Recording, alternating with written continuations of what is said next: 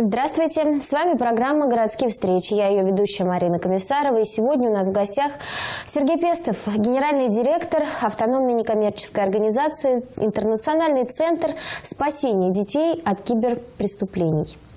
А, Сергей, а, информационным поводом для нашей встречи послужило то, что Центр спасения детей от киберпреступлений а, присоединился к конвенции глобальной, да, глобальному, глобальному договору, договору ООН. Расскажите, пожалуйста, о том, что это за такой глобальный договор и с какой целью вы решили присоединиться.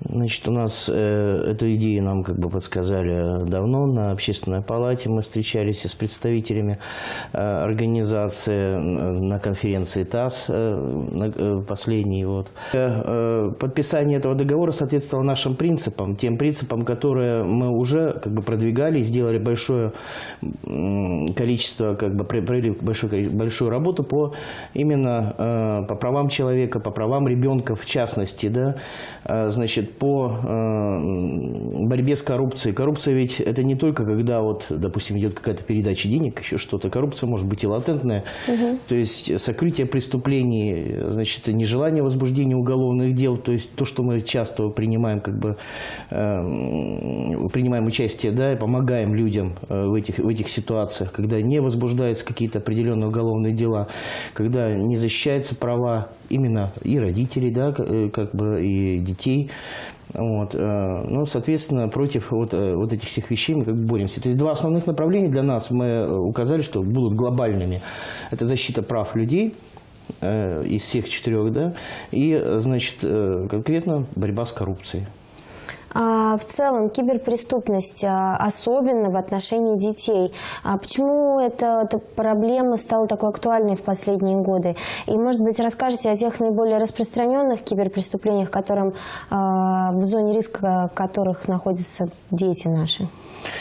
Ну, понимаете, дело в том, что, наверное, за последних два года вот мы отметим, что э, пошло положительное движение, что мы начали об этом говорить.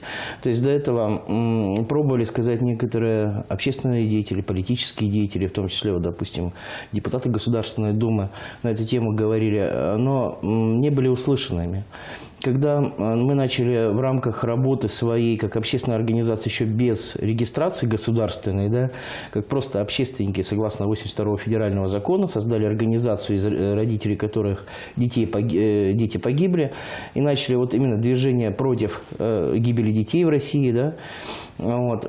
Оказалось, что это проблема глобальная, проблема гораздо шире. Она касается не только вот тех моментов, что детей как бы зомбируют и оказывают на них влияние в интернете. Проблема оказалась шире, она касается воспитательных процессов. Значит, проблемы, которые социального уровня, да, которые должны как бы решаться. И мы столкнулись с тем, что это проблема не России. Это проблема всемирная. Э, когда к нам обращались журналисты с других э, каналов, э, Интерпол обращались, мы показали ту ситуацию, что она сложилась, и уже мы стали последствием Российской Федерации того, что как бы подготавливалось. Это целевая атака на наше государство в определенной мере, на нашу молодежь была совершена. И очень правильно, что со стороны правительства этому стали уделять внимание. Значит, э, ключевым моментом мы для себя э, как бы делаем тот момент, э, когда встретились с Александром Ивановичем Сбастрыкиным, главой Следственного комитета на личной встрече после личного приема. В дальнейшем он нас пригласил на совещание Координационного совета при mm -hmm. нем да, созданном. Мы участвовали непосредственно в изменениях статьи 110 Уголовного кодекса Российской Федерации и, в принципе, добились то, что как бы хотели добиться. Значит, самое серьезное наказание идет до 15 лет за склонение гонения, за демонстрацию, объяснения несовершеннолетним э, тех депрессивных, суицидальных вещей, которые как бы нежелательно показывать. Вообще нельзя, запрещено показывать законом. И, э, Это вот как раз после внесения поправок, да? Теперь, эти поправки теперь внесли, да. Такая... Угу. Мы участвовали в Общественной палате Российской Федерации именно в нулевых чтениях по этим поправкам. Значит, наше предложение вносили конкретно непосредственно по э, этой статье.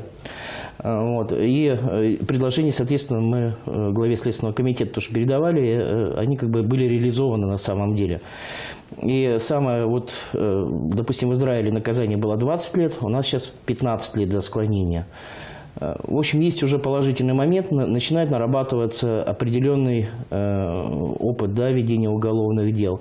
Но законодатели столкнулись э, с другой проблемой, что это не в чистом виде склонение ребенка к суициду, а больше убийства. Потому что если исследовать э, те мотивы, которые преследует преступник, мы понимаем, что он преследует цель убить человека – Соответственно, исходя из его целей, ну вот по аналогии, преступления в отношении половой неприкосновенности, угу. да, то есть э, о каких видах преступлений мы можем говорить, то есть в отношении детей, в отношении половой неприкосновенности большое количество, значит, э, преступлений регистрируется по всему миру, это тенденция во всем мире, значит, э, дальше буллинг, травля, да, она это, этой части сейчас э, глобально в Европе тоже как бы уделяет внимание.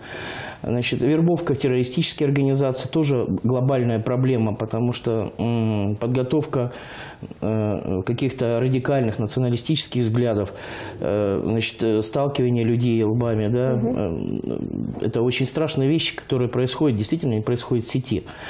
Мы вот сделали в последнее время анализ, мы тоже не сидим на месте, как бы мы определенные делаем специалитеты, то есть проходим э, подготовки, обучение и так, так далее. То есть у нас есть специалисты, вот, в частности, вот моя специализация, я сейчас э, повысил свою квалификацию именно по межэтническим международным отношениям, угу. религиоведению и конкретно борьбе с экстремизмом и терроризмом.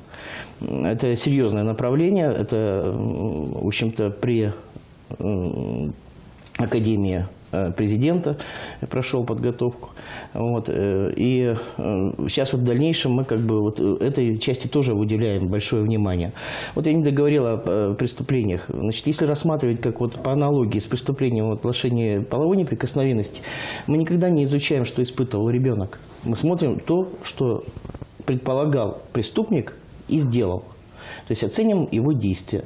Здесь в этой же ситуации исследователи тоже столкнулись, что если э, исследовать вот эту часть и смотреть, что э, являлось конеч... Э, подвело к конечному результату, почему ребенок погиб, он находился под влиянием под тем влиянием, из которого он не может выходить. Мы наблюдаем, к сожалению, это ежедневно. То есть это продолжается. И процесс не быстрый, скажем так, э, локализация этого всего. Это вещи, которые необходимо реализовывать. У нас есть проекты, которые мы готовы под реализацию сделать под финансовую. Да? То есть там действительно программы, которые интересные были бы для реализации. Будет финансирование, мы их реализуем. Нету, мы делаем то, что мы можем. Но мы можем, э, делаем это профессионально. То есть, если нам не хватало профессионалитета, мы начали его получать. И это правильно, потому что, ну, скажем так, нельзя быть э, профессионалом во всем. Если ты чем-то начинаешь заниматься, значит, нужно быть узким специалистом. Чем уже квалификации, да, глубже, да, качество, да, качество, да? да, качество специалиста. Соответственно, вот нельзя всем заниматься. И в итоге, вот мы когда смотрим, работаем по киберпреступлениям, у нас работа идет ежедневно. У нас э, сидят определенные волонтерские группы. Здесь тоже не все так гладко. Дело в том, что часть волонтерских групп э, как бы вовлекает э, альтернативных, да. Они говорят, что мы спасаем детей. Во-первых, с ребенком нельзя вступать в диалог. Это однозначное правило наших отпугнуть. волонтеров. Отпугнуть и э, вовлечь наоборот. То есть мы как бы советовали... Создать такую агрессивную да. реакцию, которая в обратную сторону подействует. Вот мы вернемся к тому случаю, что произошло да, в Ивантеевке. Почему это произошло? То есть накануне я почему-то мониторил, у меня вопрос был, э, убить учителя. То есть я задал этот вопрос то есть в рамках мониторинга. У меня выдало 29 групп накануне накануне в социальных вот этого, сетях. в социальной сети, вот то, который мы, э, в которой мы как бы сейчас э, ведем речь. Угу. Именно эта социальная сеть 29 групп. То есть целенаправленная была подготовка уже подготовка э, людей, ну, как, убить собаку, убить кошку, э, убить человека, ненавижу там всех и так далее. Все это формирует и как ком складывает вот это вот сознание. То есть у нас получается ребенок в рамках того, что на сегодняшний день он очень быстро получает информацию, для него источник получения информации э, перестает быть авторитетом. Объясню как. Если раньше мы э, ратовали за институт учительства, Учителя у нас были на первом плане, да. И это вторая так, мама. Да, вторая мама и так далее. Престиж. На самом профессия. деле это очень правильно. У человека всегда должен быть учитель. Либо он сам должен быть себе учителем, да. То есть, если человек имеет мечту, он сам себе учитель, он идет по этому пути, он сам себя обучает, подготавливает и использует ту информатику, которая, ну, как бы э, необходимо ему, да, ее получить для достижения цели. Если есть учитель в жизни, это очень хорошо. То человек, который с опытом может поднаправить и так далее. Отрицание института учительства у сегодняшней среды молодежи – это норма, потому что информация достигается легко, и перед ним тот человек, который э, имеет жизненный опыт, они не стараются это воспринимать. Они говорят, да какая разница, мы в Яндексе сейчас 2 секунды задали. В итоге у них отсутствие фундаментальных знаний, отсутствие э, уважения формирует неуважением уже вот к учительству, соответственно, э, потом переходит оно к неуважениям к родителям, к семье, и все. То есть и это получается путь... такая и вседозволенность, да. и я супер, супер человек, сверхчеловек. Сверхчеловек. Такой. В итоге, да, а плюс ко всему, если еще добавляются э, те моменты, которые Э, помогает формировать. Это вот, допустим, игрушки, да, которые вырабатывают агрессию определенную, да, э, плюс та информация, которая находится в свободном доступе. Я вот игрушки вы имеете в виду, опять же, киберсфера, вот это Киберсфера, да, да, компьютерная, которая пропагандирует это насилие. Вот если, опять же, брать одну из игр GTA, GTA 5 последняя, Очень да, популярная, «Беги да. или умри», да, то есть а, это основа была вот этого вот движения, да, которое было в определенное время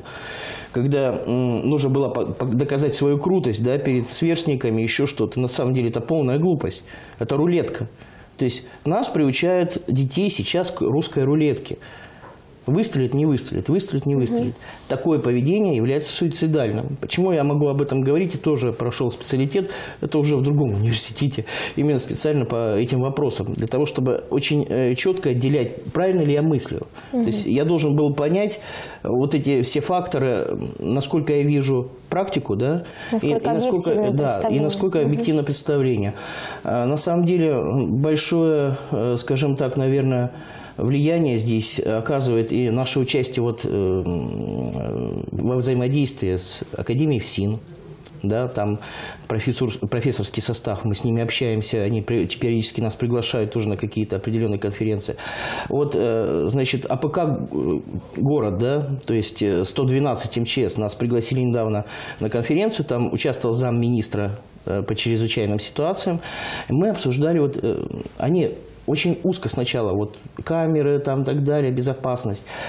А, я выступал, мое выступление было именно посвящено то, что губернаторы должны, наверное, все-таки консолидировать всех силы, то есть общественные силы, первое, да, и силовиков, потому что нет взаимодействия. В рамках того, что не заключены, допустим, договора между определенными ведомствами, такого четкого взаимодействия не происходит. Плюс отсутствие информации. Одно ведомство с другим не поделилось, и получается, что в каких-то важных ситуациях Есть не пробелы происходит да, пробелы. В итоге, наверное, такие вот вещи как бы вот нужно да, создавать, именно участвовать в воспитательном воспитательном, в первую очередь, моменте. Да? То есть мы должны э, детям показывать, насколько очень важно любить свою землю, насколько важно любить свою семью дети не должны сидеть, упираться в один экран.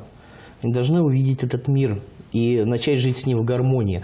То есть через гармонию, понимание этого мира, то есть когда вот мы выходим в лес, да, э, общаемся с людьми, э, вот, вот это жизнь. А то, что экран... Когда это... мы слышим от своих родителей, почему Пришвин и Паустовский так любили этот да, самый лес, да. за что они его любили. К сожалению, Сергей, у нас э, время подходит к концу. Мы подняли с вами сегодня очень сложный вопрос а, и в очередной раз убедились в том, что взаимосвязь с остальными проблемами. То есть все проблемы – это большой комплекс, который надо решать. Да, и, и прежде всего взаимодействовать. И прежде всего социальная ответственность в наших руках, в руках каждого из нас. Да, если мы будем э, подходить именно что я сегодня должен для себя это сделать, да, я должен себя где-то, может даже иногда пересилить, потому что это не все легко дается, это не, не простые проблемы. То есть сегодня, если я себя не заставлю, то завтра я себя потеряю. Вот нужно, наверное, вот по этому принципу идти. И показывать своим примером нашим молодым людям, насколько мы можем быть все-таки сильными, боевыми, да, и вот личный пример он должен как бы вести, надо за собой. У нас в гостях был Сергей Пестов, генеральный директор автономной некоммерческой организации «Интернациональный центр спасения детей от киберпреступлений». Спасибо, Сергей, что Спасибо пришли к нам. Думаю, еще не раз с вами встретимся, потому что вопросов много возникает и у телезрителей, и у нас, и актуальных много проблем, о которых надо говорить, важно говорить. С вами была Марина Комиссарова и программа «Городские встречи». Спасибо. Всего доброго.